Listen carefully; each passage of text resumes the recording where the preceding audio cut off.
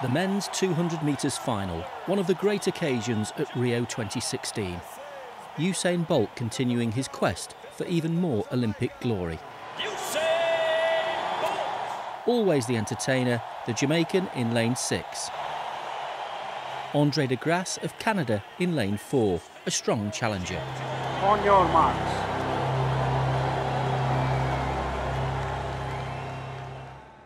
Set.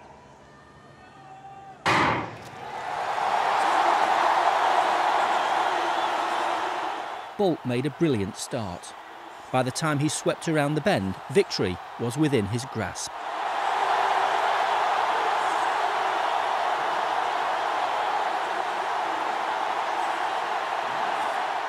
A clear winner, even though he failed to break his own world record, a target he'd set himself before the race. De Grasse was second and Christophe Lemaitre in lane 7 third, pipping Adam Gemili of Great Britain by a fraction of a second. Bolt, though, had taken the starring role again, claiming his third successive Olympic gold in the 200 metres.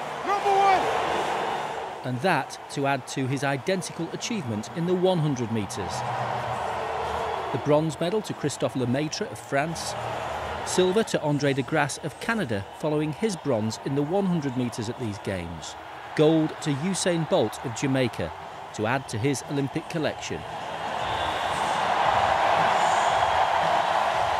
Spectators inside the Olympic Stadium had been treated to a piece of sporting history.